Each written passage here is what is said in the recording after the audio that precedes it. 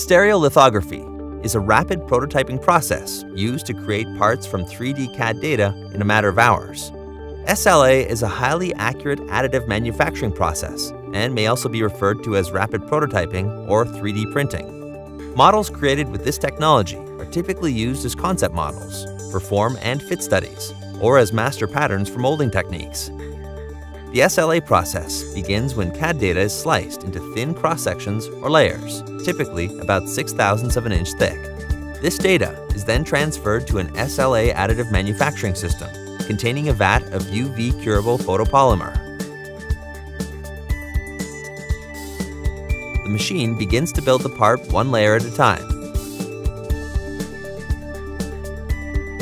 Each layer is constructed from an ultraviolet laser that is directed by X and Y scanning mirrors.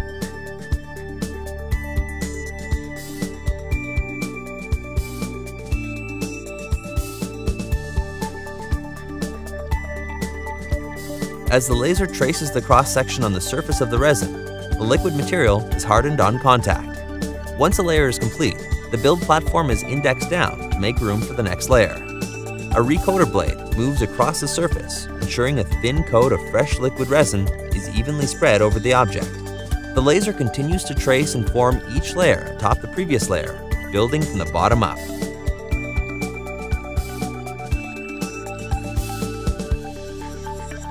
The completed part is then carefully removed from the liquid and separated from the platform. A chemical bath removes excess resin, and the part is cured in an ultraviolet oven. Any support structures are removed at this time. With numerous hand sanding and professional paint options available through service providers such as Solid Concepts, stereolithography has become an excellent economic choice for rapid appearance models. A wide variety of industries have embraced SLA, including medical, automotive, entertainment, aerospace, and consumer products.